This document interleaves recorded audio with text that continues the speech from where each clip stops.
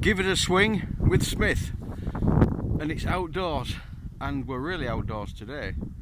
We came down from the northeast of Denmark yesterday, where I live, to the southwest, which is on the German border. And when we arrived last night, it was a stormy night and there was nearly no light. And we ended up, now we we rented a summer house. Now they're usually made of timber, all the ones I've been in over the years. And we arrived at this place. As you can see, oops, where can you see? It's a very old building, 1753.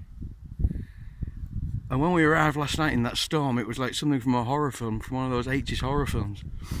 So, um, yeah, there's the Memsaab. Memsaab on way into house. Yeah, so as you can see, very old building. Um, I'm just trying to think when the American War of Independence was. Was that the 1870s, uh, 1780s? Yeah, my history's not too good on that. But um, never mind. While we're down here, we'll be looking at some outdoor stuff.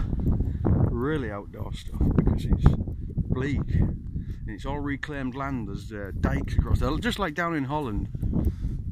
And I'll just finish this little opening vlog with the sunset. Uh, no, sunrise. Uh, there we go. Ah, beautiful. There we go. So, I'll take more films later when we're down on our... We've cut, yeah, why are we down here? I forgot to say. Because we're coming after oysters. Uh, the, the, the invasive species, the Pacific oyster, got out of the farm. You know, we try and farm things and keep them under control, but they always can get out, even an oyster.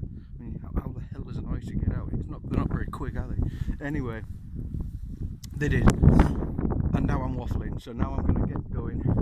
Final pan round to there, sunrise,